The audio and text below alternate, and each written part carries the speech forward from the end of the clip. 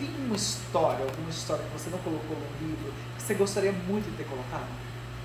Ah, tem. Eu saí, eu tive uma relação aí com. Eu saí uma, uma vez só. Não, eu não quis a segunda, com um ex-BBB.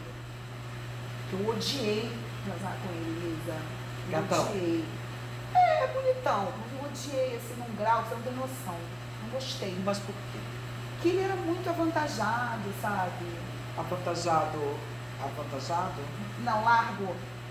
largo, É, largo. é. Ai, gente, tô fazendo gestos. Ai, sou uma senhora de família, cara. Ah, eu também sou. Eu também sou. Ai, mas que coisa irritante. A Te machucou. A camisinha não cabia, rasgava, entendeu? Eu falei, ai, coisa mais irritante. E você já sabe? lembrou logo do shampoo, amor. Não, eu já tinha esquecido.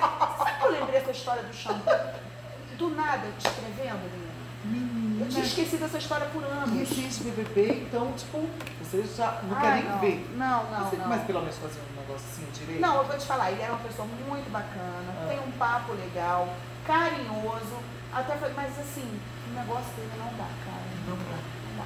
Tipo Kid Bengala. Não, não é, não é no tamanho, Sim. é na grossura. Só na grossura. Ah, não, Entendi. pra, não, Não dava, né, amiga? não, não dá. É, é meio complicado. Muito complicado.